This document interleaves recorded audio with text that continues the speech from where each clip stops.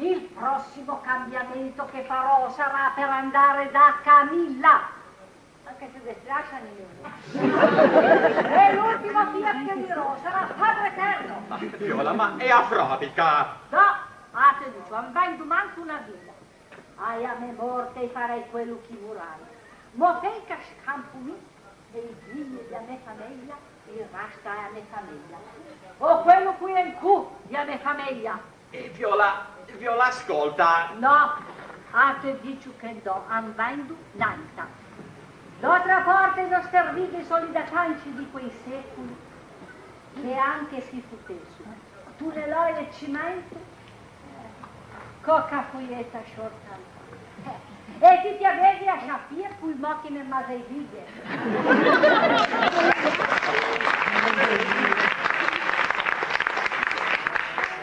Viola, e Violetta, e senti. Aura boca tiene busse Paolei. Basta, parlumneci. Ah, tu lo dici, parlumneci.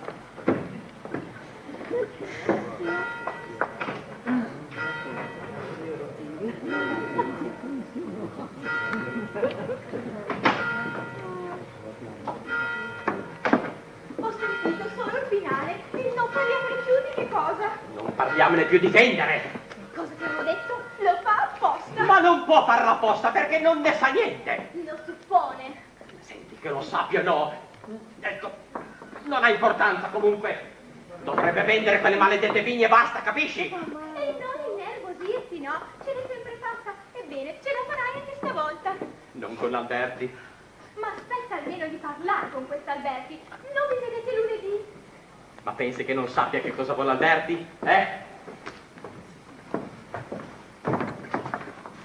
Povera cara, tua zia non vuole bene. Ma come mai? Come mai? Perché non capisce una virgola di quello che gli si dice. Io ho l'impressione che abbia preso la Fiat per una confraternita religiosa, capisci? Ecco, comunque, non ditele niente su questo argomento. E soprattutto tu, Elena, perché, non lo so, la, la innervosisci, ecco. È vero, me ne sono accorta e non capisco come mai. Eppure sono sempre stata molto gentile, molto educata.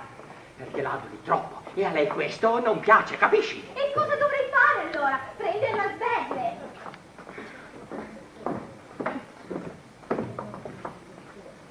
Eh, signorina? Eh, signorina? eh, ecco... eh, eh, no... Non vorremmo darle troppo lavoro, eh. Oh no, non si preoccupi. Non mi cadranno le ovaie per questo.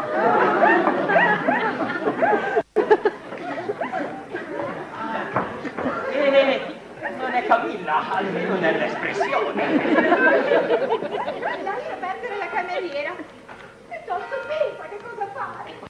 C'è poco da pensare, dovrebbe vendere quelle maledette vigne e basta, ma non so come obbligarla, capisci? Che non so.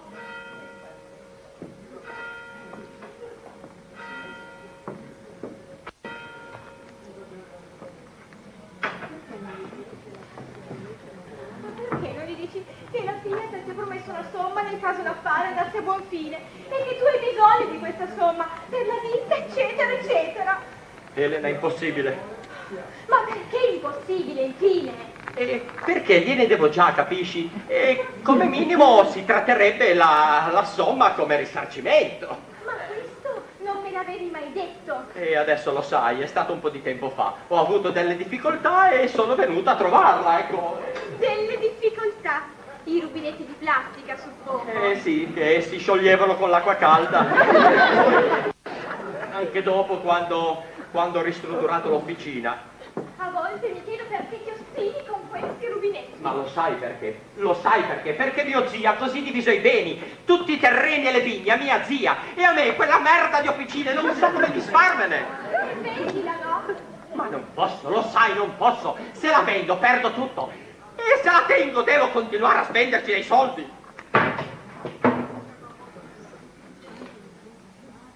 Quanto mi fa facciare con questi colpi.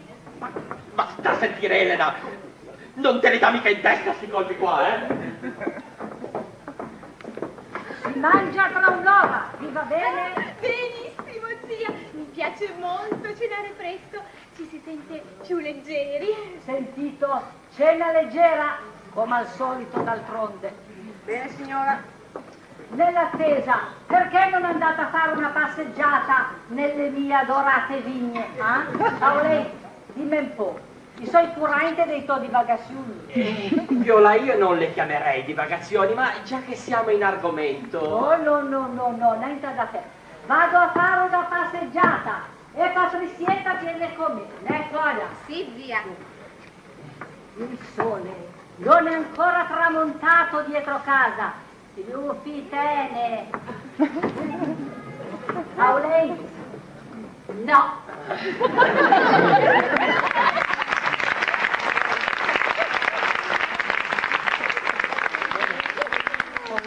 Sono nervosissimo, vado di, vado di sopra a rilassarmi, guarda. Non è possibile. No, no, no, no. Pardon? Lo signori mangiano la minestra? Sì, loro signori mangiano la minestra, Ma ma... era solo per sapere quanti piatti mettere, eh? Ma da quando in qua mia zia mangia la minestra? Da quando ci sono io. E quello che è buffa, che le piace anche. Questa è bella, non l'ha mai mangiata. Oh sì sì, mezzogiorno e cena. E va bene, signorina, allora mangeremo tutti minestra. E dopo cosa c'è di buono? Dopo la minestra c'è un altro bel piatto di minestra. Dio, ma dopo due piatti di minestra, ma che cosa vuoi mangiare ancora? Oh, ma signorina! Ma guarda che se volevi un pranzo di nozze me lo dovevi dire prima, eh. Oh, ma quella non ha proprio niente della cuoca, eh? No, eh, ma piuttosto della puttana.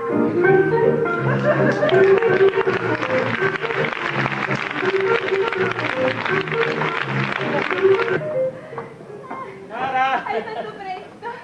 Ho sentito la macchina. Nulla di nuovo in mia assenza, tesoro? No, no, no. È molto contenta di poter stare altri due giorni con Patrizia.